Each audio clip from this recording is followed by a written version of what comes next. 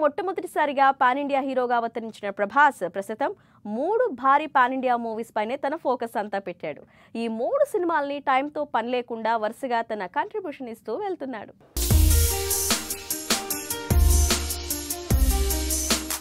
బాహుబలి సిరీస్కు ఏకంగా నాలుగేళ్ళు డెడికేట్ అయిపోయిన ప్రభాస్ ఆ తర్వాత సినిమా సాహో కోసం రెండేళ్ళు ఎఫర్ట్ పెట్టాడు. బాహుబలి క్రేజ్ను క్యాష్ చేసుకునే క్రమంలో ఆ మూవీని ఏకంగా రెండేళ్ళు చెక్కాడు డైరెక్టర్ సుజిత్. అయితే ఆడియన్స్ ఎక్స్పెక్టేషన్స్ను దర్శకుడు రీచ్ అవ్వలేకపోయాడు. సినిమా డిజాస్టర్ అయింది. ఈ మూవీ తర్వాత రాధే శ్యామ్ కోసం ప్రభాస్ మూడేళ్ళు కష్టపడ్డాడు. ఈ సినిమా కూడా అదే రిజల్ట్ రాబట్టింది. అయినా సరే ప్రభాస్ క్రేజ్ కొంచెం కూడా చెక్కు చెదరలేదు. ప్రస్తుతం Prabhas Adipurush Salaar project K pan India మూవీస్లో ఏకకాలంలో నటిస్తున్నాడు. వాటిలో ఆదిపురుష్ టాకీ పార్ట్ కంప్లీట్ చేసుకుని రిలీజ్కు రెడీ అవుతూ ఉండగా సలార్ షూటింగ్ జరుపుకుంటోంది. వీటిలో ఆదిపురుష్ గ్రాఫిక్స్ విషయంలో కామెంట్స్ రావడంతో రిలీజ్ డిలే అయ్యేలా కనిపిస్తోంది. దీని ఎఫెక్ట్తో ప్రభాస్ మిగతా సినిమాల రిలీజ్ కూడా రీషెడ్యూల్ కాబోతున్నాయి. ప్రాజెక్ట్ కే రెండు వేల ఇరవై నాలుగులో రిలీజ్ కాబోతోంది. బాహుబలి తర్వాత ఆ రేంజ్లో మరో హిట్ అందుకొని ప్రభాస్ ఈ మూడు సినిమాల విషయంలోనూ స్పెషల్ కేర్ తీసుకుంటున్నాడు. దానికోసం